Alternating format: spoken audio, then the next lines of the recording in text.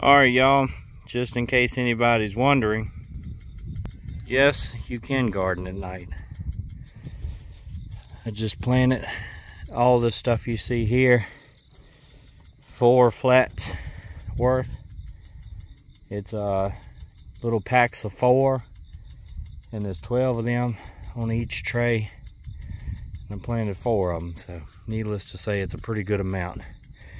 And I did it with this Milwaukee rechargeable work light. I got my batteries in there and there we go. So it works pretty good. That and the night uh, the light I keep on my head all the time anyway. But you can make time to garden. I don't want to toot my own horn, but I swear here lately, I don't think anybody could be much busier than I am, and we're still getting it done. So don't use that as an excuse.